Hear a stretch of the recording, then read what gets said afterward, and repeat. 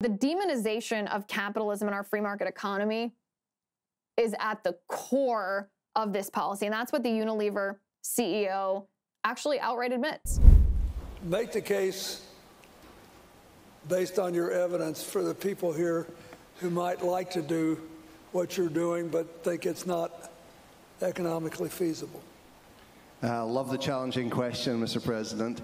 Um, of course, when you were being taught at law school, you were taught about fiduciary responsibility. And um, I think most chief execs carry around that sense of fiduciary responsibility and wear it heavily. Um, there is an element of risk and risk avoidance associated with trying to run a business on a sustainable platform. Right now, our company in Pakistan, one of our finest businesses around the world, is underwater. Um, we'll push through that, um, but it's not a great place to be selling food or personal care products when you're underwater or on fire. But I want to shift the emphasis away from risk to opportunity, the other side of fiduciary responsibility. The evidence is building so quickly that people want to buy products from companies and brands that operate to high standards of sustainable behavior and ethical conduct.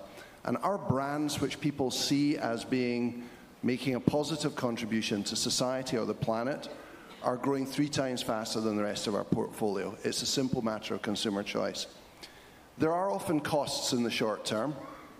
But we've saved about 1.2 billion euros through sustainable sourcing. This need not be an on cost.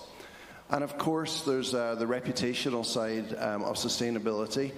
Unilever is now the employer of choice in 50 countries around the world in our sector because it's a magnet for young talent. People want to come and join companies where they can make a positive impact.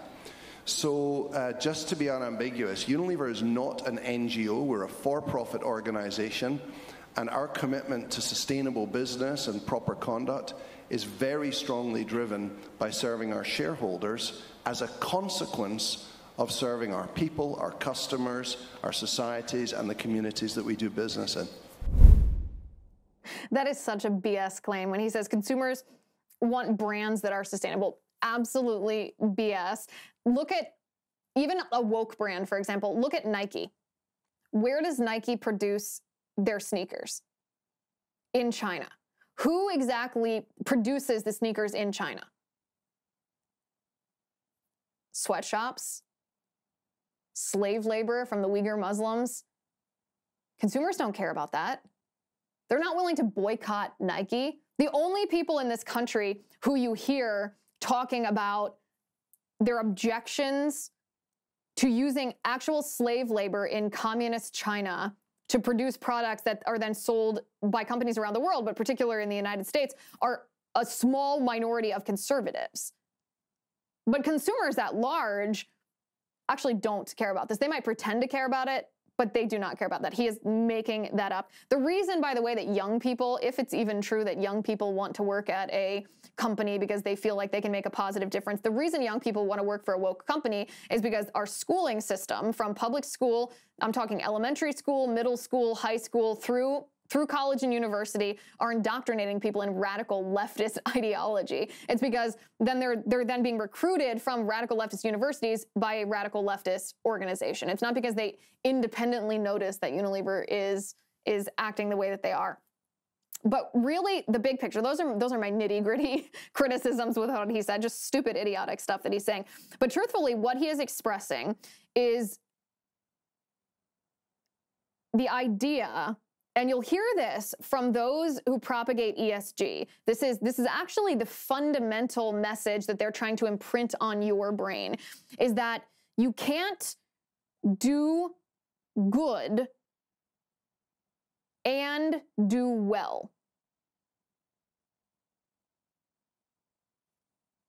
You can't do good for society and also do well financially. This message is the complete opposite of what a free market economy and a capitalist society has proven that transactions between businesses and consumers that yes, profits businesses because they're selling a consumer something that consumer needs, that that is a mutually beneficial interaction, a voluntary and mutually beneficial interaction. So that phrase right there, you can't do well and do good, or you can't do good and do well, is anti capitalist.